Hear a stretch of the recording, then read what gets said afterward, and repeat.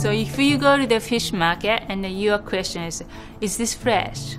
So they're gonna say, yes, this is fresh. So that's not the right question because they're supposed to sell fresh fish in the fish market. So you have to ask them, is this fresh enough to eat raw? I'm gonna make sushi, I'm gonna make sashimi. Is this a sushi quality fish?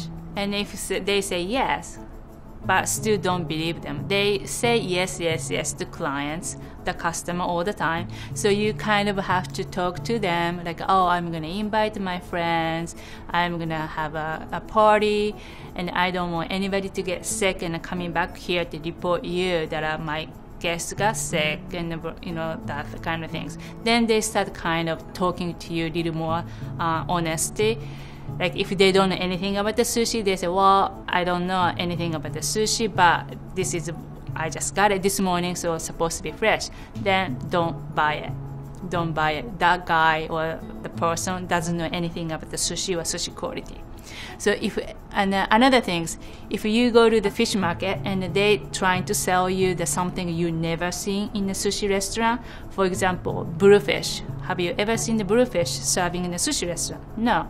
But some fish market they say, well, I just got this this morning. This is fresh. You can eat it in a raw because I just got it this morning. Don't believe it because he doesn't know anything about the sushi there's a reason for it why you don't serve bluefish in the sushi. So don't believe it. Yeah, some fishes are more um, eco-friendly fish.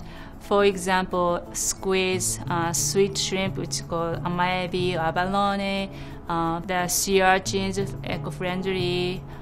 Um, tuna, like yellowfin tuna is okay, but not the big uh, bluefin tuna. It's not eco-friendly, but doesn't mean those fish are tasty for you or not. So you have to think about it. Like I like bluefin tuna. If I eat the tuna, I only I only want to eat the bluefin. So, but I don't eat the tons of it. I just eat a little bit for once a while. So that's you can pace out to save the earth.